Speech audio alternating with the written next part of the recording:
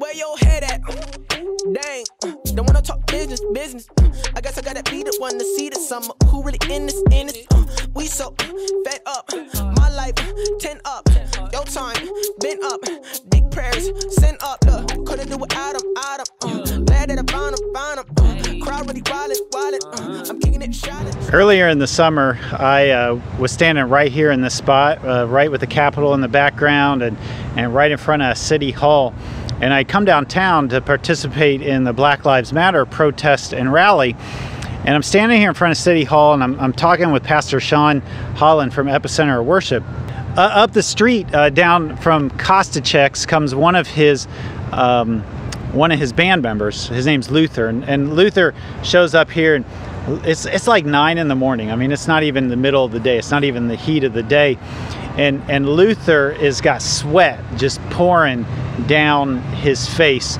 Luther's from New York. He's a professional musician. He's played in Sean's worship band, but he's come back here for this moment, and he he didn't judge the weather right, and he's wearing full length black wool pants. He is hurting. When I find this out, I, I, think about the backpack that I've got on, and in that backpack, I know that there's an extra pair of shorts. Does Tom always, Pastor Tom, always walk around with an extra pair of shorts in his backpack? There had been uh, incidences where the police had tear gassed protesters, and if you get tear gassed, you want an extra pair of clothes to put on. And Luther and, and Sean and I start walking towards the Capitol. Sometimes it takes God's Spirit a long time to work on me or maybe I should say I take a long time to get open to God's Spirit. That pair of shorts I got in my backpack, they're a nice pair of shorts, and I might need them, but I don't need them right this minute. God brings this story to my mind from uh, the very early stages of Jesus' ministry, and he's out visiting his cousin, John the Baptist. And John the Baptist is preaching out in the wilderness. And John says this to those who are listening He says, Listen, if you have an extra pair of shorts in your backpack on a hot sunny day at a Black Lives Matter protest down at the Capitol, then give it to the musician who's sweating uh, crazy. Well, that's not exactly what John the Baptist says. Here's what he says. He says, uh, If you have two shirts, give one to the poor. If you have food, share it with those who are hungry.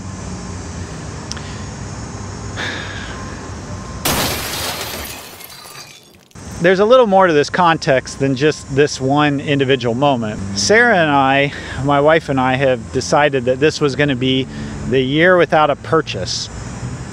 Some of you are like, what in the world? How can you live without making any purchases? You can't live without making some purchases. You got to buy food. I still have to buy deodorant, even though I work at home all the time now. Shampoo, soap, you know, the basics. We weren't going to buy anything that we wouldn't use up in that year. So I knew that if I gave this pair of shorts away that I wouldn't get another in return. Now, I've had all kinds of temptations during this pandemic to buy stuff. Most of them I have been able to ward off. Lots of gadgets and gizmos, a new desk and a new chair because I work at home. You know, one thing that I did end up buying, I didn't even realize that I had just broken our, our sort of practice for the year, was I bought a new Sycamore Creek Church mug because they came in. I thought I want to have one of those, and, and I bought it. And then I got home and I was like, oh wait, I wasn't supposed to buy anything uh, this year. I know that if I give him these shorts, uh, I'm, I'm not going to easily be able to replace him. But once I finally get up here to the Capitol steps and I see him sweating and he's, he's getting ready to play the piano and through the heat of the day, God's Spirit finally gets through my hard heart, through my clenched fist, and I open up. I say to Luther, Listen, Luther, I got a pair of shorts in my backpack. You want to try them on? And I felt God's Spirit pushing me just a little bit further. And, and I said to Luther, Hey, listen, if if I don't see you after this uh, for some reason, you, you, just keep those shorts. Don't worry about them. They're yours. Well, I never got those shorts back. I haven't had a day go by that I didn't have a pair of shorts to wear. I think the pandemic has shown us that a lot of the things that we chase after are ultimately not particularly valuable. There's been an increased awareness of structural racism, and it's shown us how many of those carrots aren't equitably distributed. But the pandemic has also brought new temptations for chasing some of the same old stuff, some of the same old idols, the counterfeit goods, the the things that don't actually deliver on what they promise.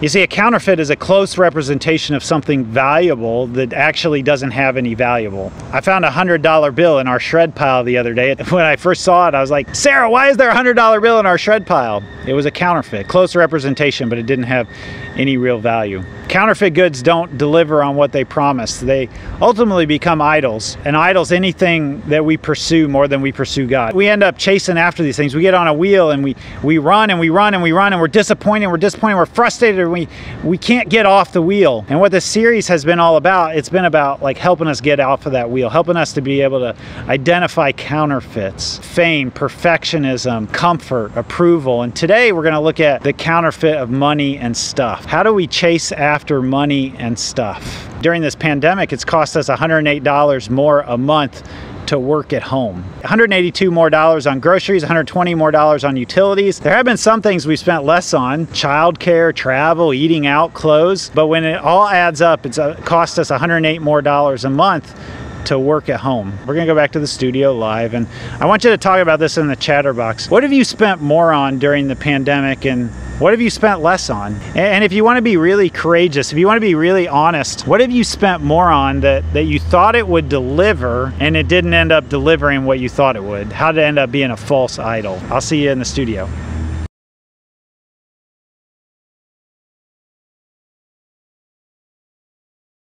This whole series, we have been trying to identify, help you identify counterfeit carrots.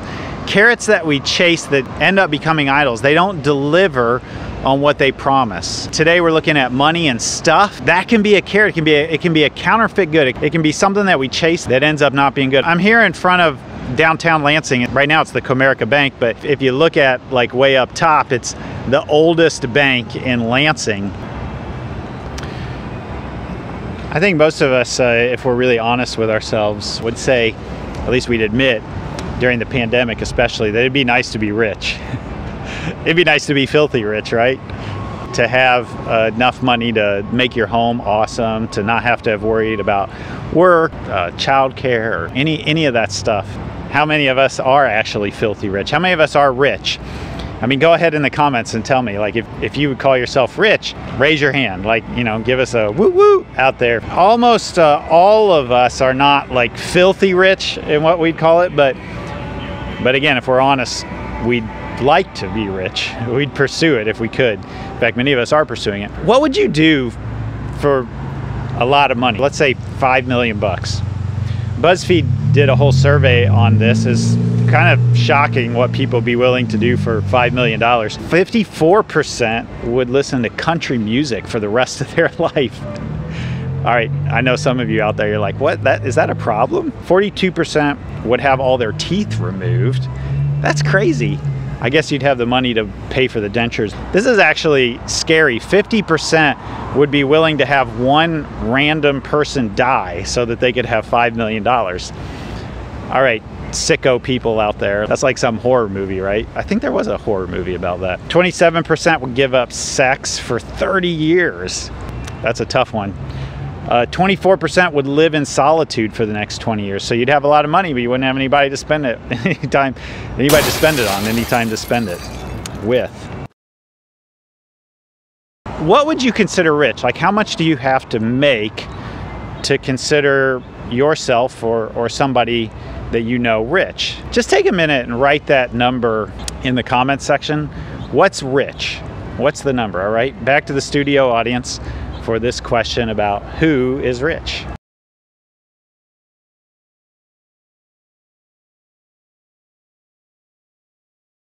All right, that was an interesting conversation. There's this question of how much we have to make to be rich. And some of you might say, if you make $25,000, you'd say, if I'd make $50,000, then I'd be rich. And those of you who are making $50,000, like, hey, now that, that ain't rich, friends. Uh, if I made $100,000, then I would be rich. Those of you who are making $100,000, and there are some of you who are watching this who are in that bracket or higher, you're like, man, that's not rich. If, if I made a million dollars, then I, I would be rich. and it turns out if you make a million dollars, you'd be like, no, if I make $2.3 million, then I would be rich. In fact, Charles Schwab did a, some research on this, and it turns out that that's the magic number $2.3 million. So I guess if you only make $2 million, you're not rich. But if you make another 0.3 million, then you are rich. The problem is, is that the answer to that question is a moving target. You, you make a certain amount and and, and you're not rich and so you need more and you need more and that's the problem that's that's the chasing the carrot friends That's the thing that, that we think it, it promises to deliver something, but it turns out being being a counterfeit. It doesn't deliver on what it promises. It ends up being an idol that we pursue it more than we pursue God. Jesus said, Watch out! Be on guard of all kinds of greed because life does not consist in the abundance of things. The value of your life is not in the abundance of your the capacity of stuff you own. It's found in somewhere else. It's it's found in some other place by chasing some some other, not a carrot, but something good, something that's truly good, something that is that's right and true and beautiful and good. Back to that Charles Schwab survey, 60% of people admitted that they watch and look on social media and wonder how can their friends afford that? 30% admitted that they spend more money on, on things with their friends than they have money to spend. 34% of people are influenced to spend money on experiences that they don't have the money to spend on. It's the end of the summer right? Like there's, there's just a little bit more. We got to pack everything in. We got to we got to soak it for all it's worth. Here's the carrot what you think you need is what you don't have what you think you need is what you don't have. And what you really need is you need God. You need less of what's temporary and more of what's eternal. Jesus tells the story of, of this uh, farmer, and he, he has a bumper crop. And, and he's got all of this all of this food that's come in and, and he doesn't even have enough barns to, to, to carry it all. And so he says, I'm going to build bigger barns and I'm going to sit back and I'm going to I'm going to relax and be happy. This is how Jesus ends the story. He says, but God said to him, you fool. For tonight, your life will be taken from you. He was chasing more of what's temporal rather than more of what's eternal.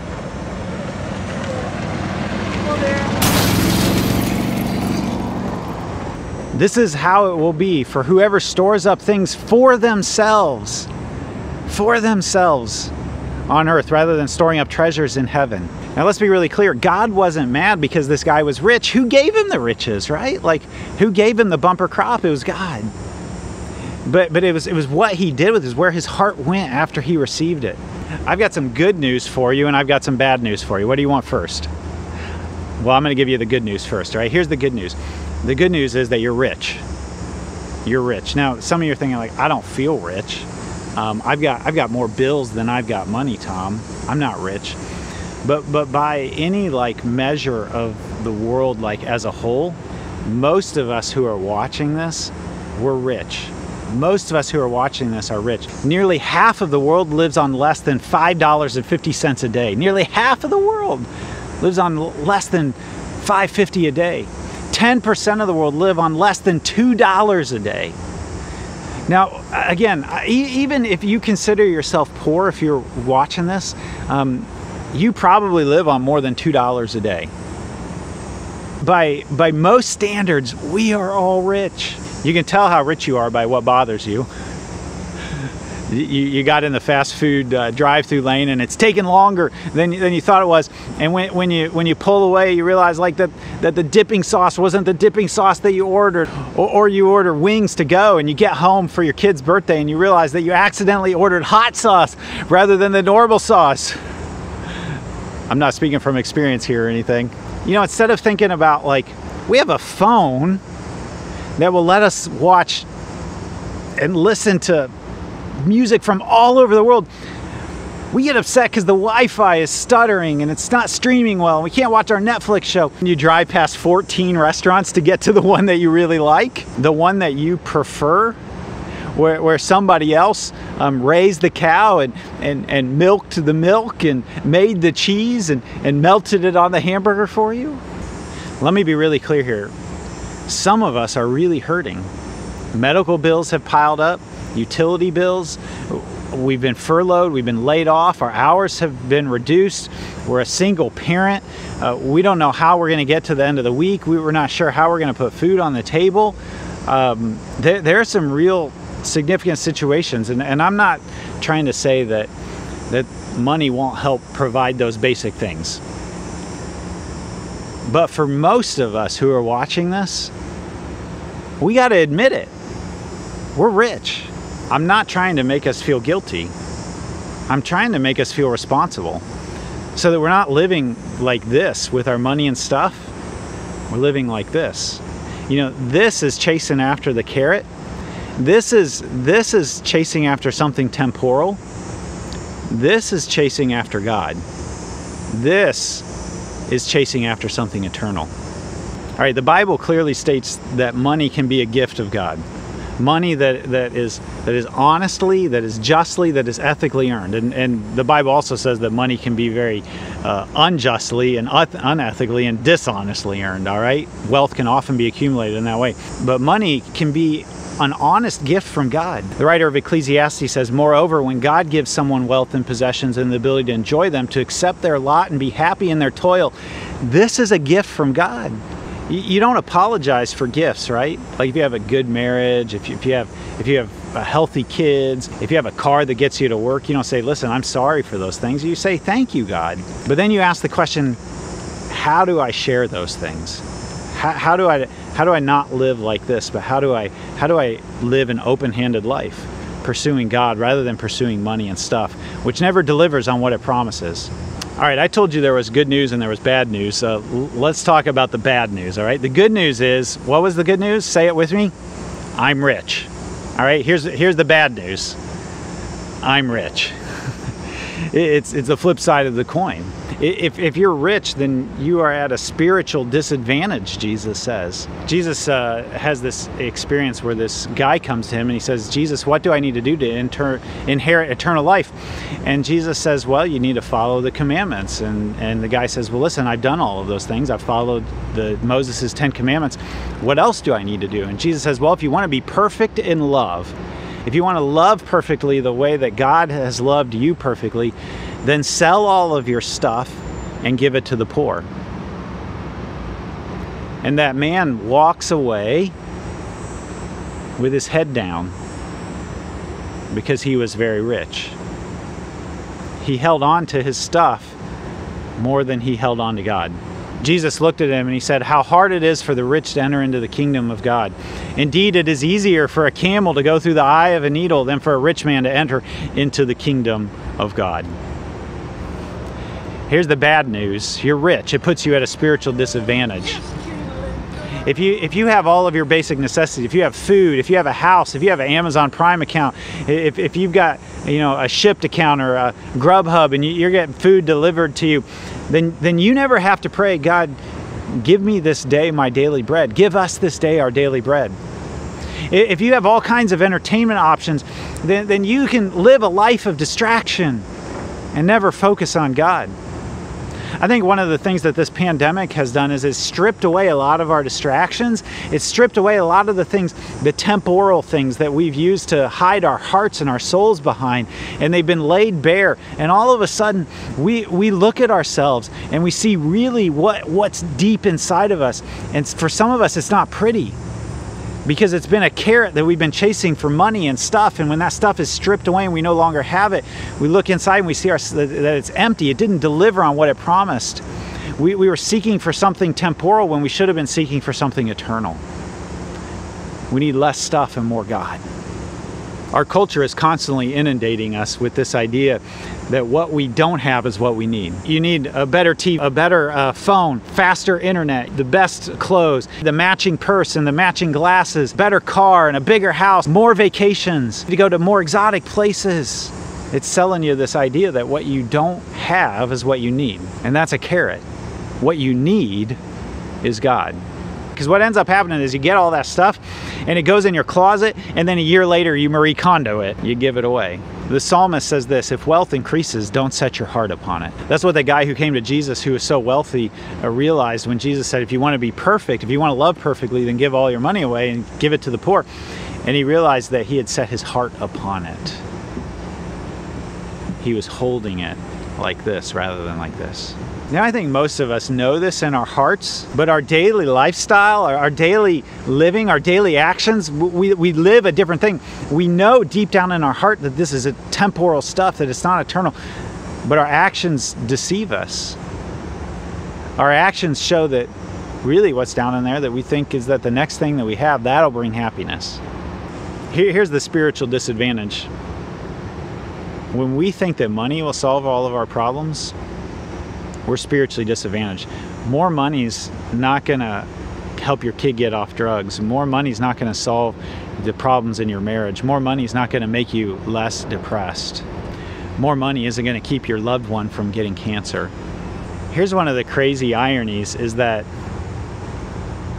the richest countries in the world are some of the highest depression and anxiety rates. The richest countries in the world, the United States has one of the highest depression and anxiety rates. We, we have more money than, than the vast majority of people, and yet we're more depressed and more anxious. Money isn't solving our problems. We don't need more of what's temporal. We don't need more money. We need more of what's eternal. We need more of Jesus. Paul, the first missionary of the church and the author of many of the books of the Bible, writes this uh, amazing set of letters to his mentor, his mentee, Timothy, and, and he, he's telling him how to interact with rich people. And, and here's the thing is when you read this, don't think of it as somebody else over there, but Paul is telling Timothy how to interact with each one of us. And here's what he says He says, Command those who are rich in this present world not to be arrogant, nor to put their hope in wealth, which is so uncertain, but to put their hope in God, who richly provides us with everything for your enjoyment. Now remember, it's not wrong to make money honestly and ethically and justly. Again, I'm not trying to make you feel guilty, I'm trying to make you feel responsible. Because that's what Paul does. Paul here says, command them to do good, to be rich in good deeds, and to be generous and willing to share. Remember, Paul's talking to Timothy about us, about me, about how to talk to me, how to talk to you. Paul goes on, he says, In this way they will lay up treasure for themselves as a firm foundation for the coming age, so that they may take hold of the life that is truly life. Here's some things I want you to say with me God has blessed me with more than I need. I am rich, but I will not trust in earthly things, and stuff. I will trust in God who richly provides. Because I have more, I will do more and give more. Some of you have a pile of money in the bank, but you have no peace in your heart. I'm really speaking to you today. Don't chase that carrot of pile of money in the bank. Chase the thing that's true, the thing that's eternal. Put your hope, put your trust in God, who's the one who richly provides. Remember what Paul said? To take hold of the life that truly is life. To take hold of the life that it truly is life. Don't just spend money because it excites you in the moment. That's a carrot. It's it's selling something that it's never going to deliver on. Buy something that is eternal. Do something that really matters with your life. Live simply so that others can simply live. Here's a litmus test for where you're investing your heart. When your stimulus check came, when was, you know, this is like money that fell from heaven, like right into our bank accounts, right? What'd you do with that stimulus check? Now, ironically, Sarah and I uh, miscalculated our taxes this year, and we had to use some of it to pay for taxes and a little bit to pay for some medical bills and a surgery. But before all of that even became clear to us, we had set it aside in a, in a different, a special account.